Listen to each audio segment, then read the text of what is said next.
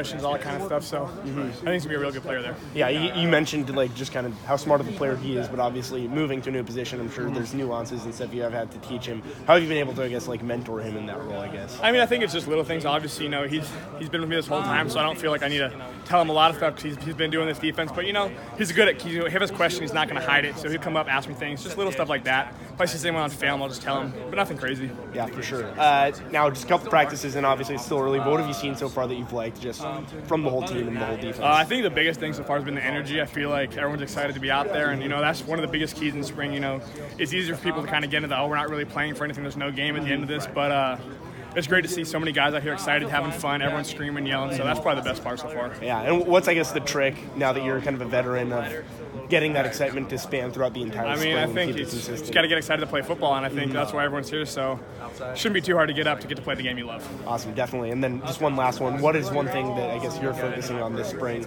uh, to kind of position you well for the fall and moving forward? Um, I think you know just focusing on working on getting off blocks, that kind of stuff. That's probably the, the biggest thing for me, just block shedding, that kind of stuff. Awesome. Thanks, man. Yeah, no problem.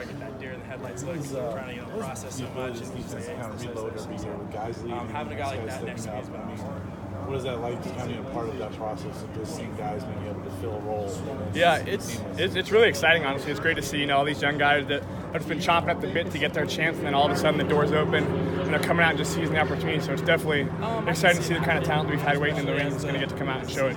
And how much of that waiting in the wings is, is you know, spring ball takes part of that in terms of learning the basics? It's a very fundamentally based couple of weeks. here for those guys. How crucial is that for them to make it to that next step? Yeah, it's, it's definitely huge. I mean, we got we have uh, I think three freshmen in right now who are just brand new. So I think this kind of is the time where you can kind of learn, you know, how we play Husky football here, how we practice, and that's kind of the first step to being able to play in a game is knowing how to practice correctly. So this is definitely a big part of that.